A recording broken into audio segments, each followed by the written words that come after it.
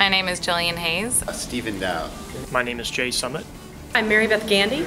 Uh, my name is Ben Axelrod. Most of my research has been around ideas of how do we capture media um, in sort of informal and unstructured environments. One example is your baby's first steps. You never know when that's going to actually happen, and right after it happens, you were too late to grab your video camera and actually go and get it.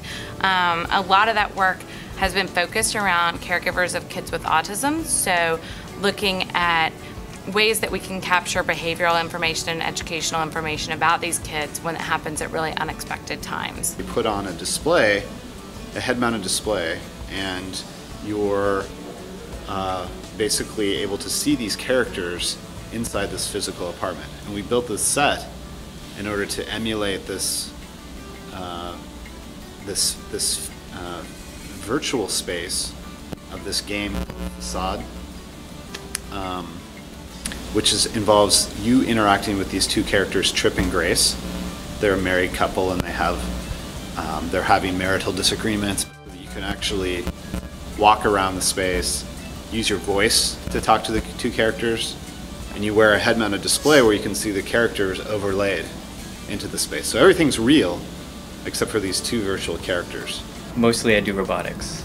This is um, a scribbler robot uh, from Parallax and we're using this to teach computer science 101 basically. We've found that you know teaching computer science with a robot or with uh, images and graphics is much more intriguing to students than you know just doing printfs and you know putting text on a screen. I do augmented reality research and that's you know um, augmenting the real world with virtual objects or virtual sounds. Classic AR application will involve me like putting on a head-mounted display, and through the head-mounted display I see the real world, but I'm also going to see virtual objects front projectors have a big problem with shadows. Um, if you get between the projector and the display, you get shadows cast on the display. So in, in this system, there's two projectors, and, and one projector is primarily responsible for putting the image on the screen unless you stand in front of it, at which point we have to turn off the parts of the projector that would hit you with light, and we turn on the other projector to fill in the regions on the screen that would be in a shadow. Almost none of it is done that way. These days I write almost no code. I spend a lot of time with teachers, with parents of kids with autism. So you, know, you get this chance to see all these different aspects of the world um, through sort of a technology lens. And I find that really appealing because it gives me this diverse sort of way of approaching the world. Um, and computing gives you a lot of tools for problem solving to help those different issues. I never experienced that myself, so the means to get there um, are just ch little challenges along the way. And some of them are programming and some of them are hacking on hardware, um, building something crazy like this.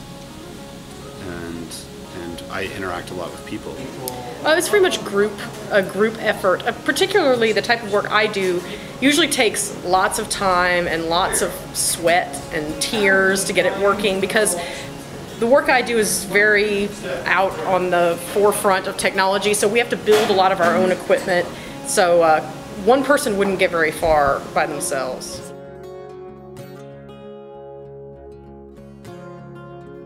I was a biology major in college at first, um, and I actually really wanted to be an AIDS researcher, but I got really bored because it was a lot of like pipetting and making sure my cultures didn't die and all this sort of ridiculousness. I didn't take my first computer science class really until I was a junior in college. Um, but I loved it. Computing is something that you can take and you can apply it to anything else. Um, you can, if you're interested in biology, you can apply it to biology. If you're interested in literature, you can apply it to that. I mean, there's something for everything. So robotics combines many fields, uh, mechanical, electrical, computer science. So typically you're not only working with other com computer scientists, you have cross-discipline, you know, collaboration.